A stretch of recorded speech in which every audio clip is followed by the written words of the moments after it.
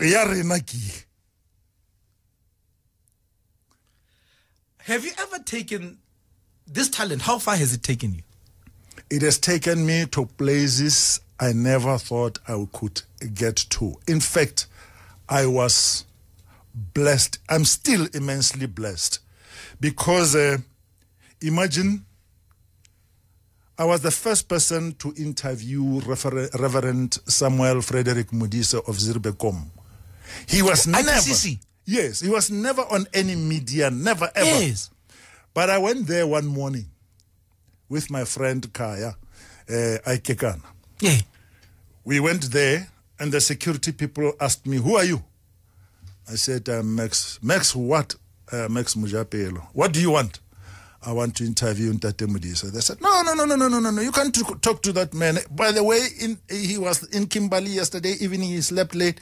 Just as they were talking, a short man came down in a morning gown. He said, Who's that man?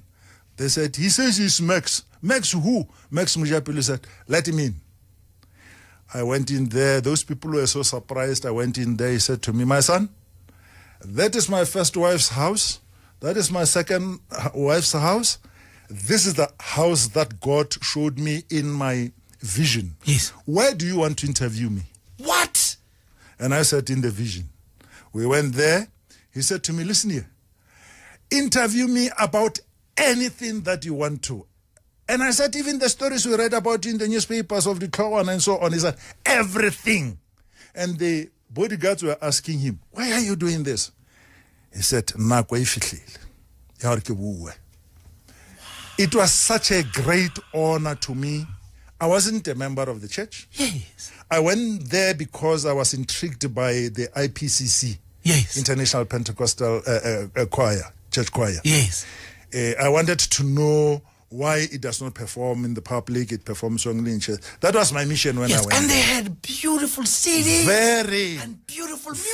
fronted by uh, Mamkwanas and Yes. Priscilla. Mabane Mabane, I was playing uh, uh, Definitely. from their uh, one of their CDs. Definitely. E la nbjale nka e letša. Gabotse. Ra mare mare tla mo founung tate Eh, go- e lokile. A go swana ke- So when Yes. when I went in there, I asked him everything I wanted to know. I was so inspired.